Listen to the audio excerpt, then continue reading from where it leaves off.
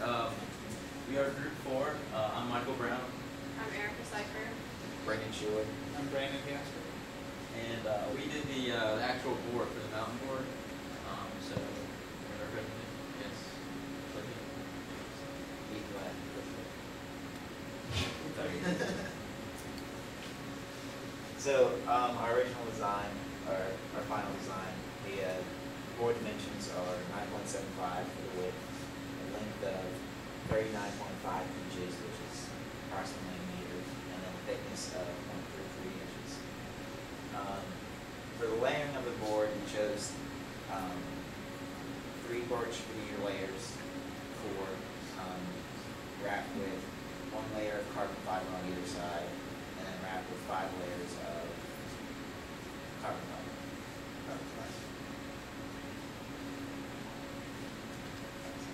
So, um, just here are some screenshots from our SolidWorks model. Um, That right up the top left is a uh, side view with the, uh, the links from the bottom peaks and the total.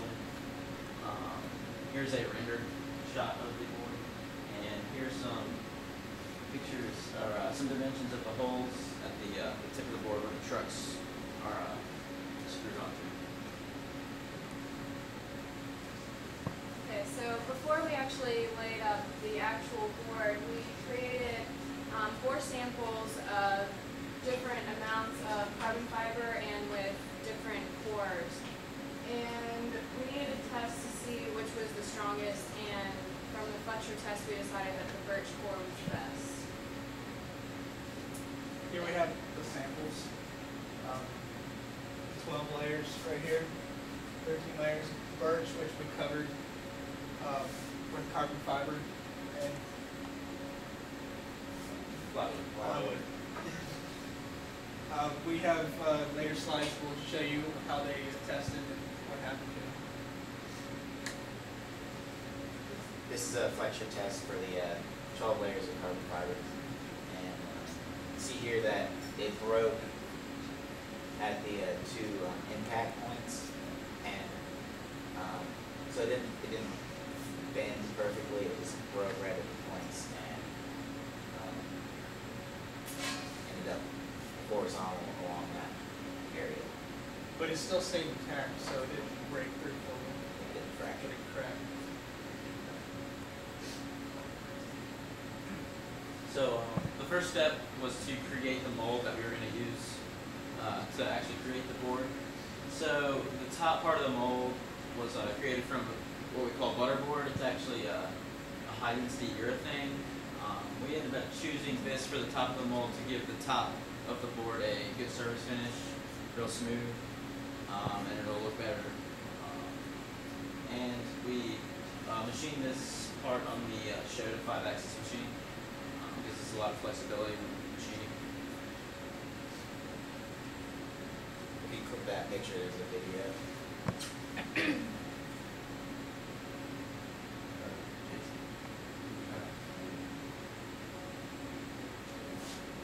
You just click it.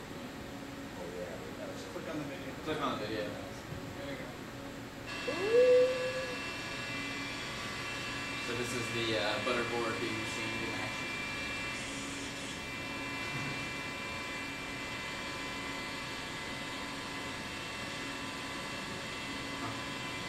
This is the uh, roughing operation. We'll just run this for another 10, 15 seconds and then go on to the next video. And yes, we had to clean up all.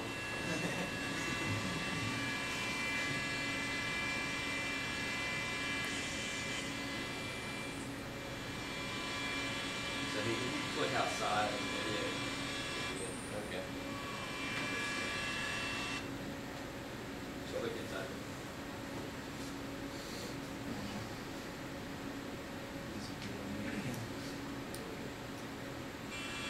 So this is the finishing process.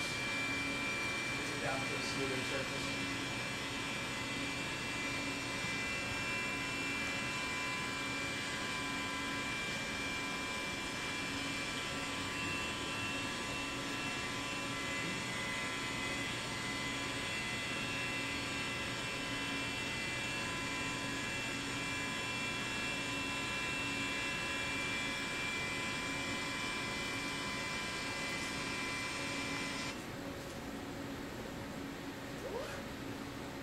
So, um, here are the results of our flexure tests. Um, we have the uh, birch core and twelve layer and thirteen layer of plywood. And, um, they turned out to be different thicknesses when we, um, layered them. And the one that we chose to do was the uh, birch veneer core, and the thickness for the flexure test was 0.275 inches, and max load was five hundred and thirty-three pounds. And uh, the plywood core was stronger, um, in the test because of the, uh, because it was thicker, but, um, it's great.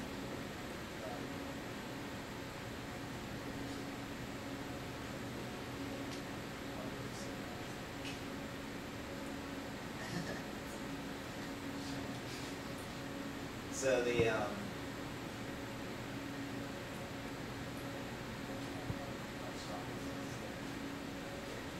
Okay, so, um, the reason why the plywood core is stronger, a lot stronger, is because it's a lot thicker than the birch core.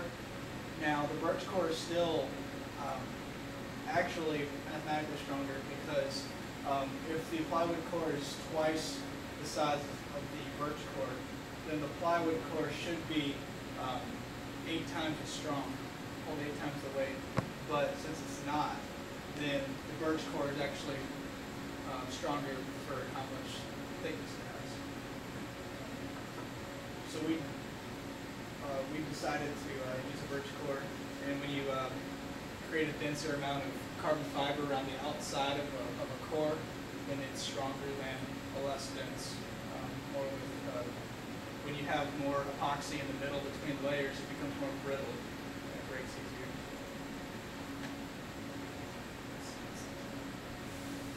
Next slide.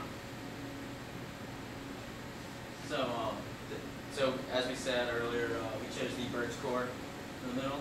Um, so we found it to, you know, in the, when, when lined in the middle of the carbon fiber, it, uh, it made it, the board overall more flexible. And, uh, we chose that over plywood just because it was much thinner and, uh, so when we actually cut it out, we used three small layers of the material that we had. Um, we laid it out.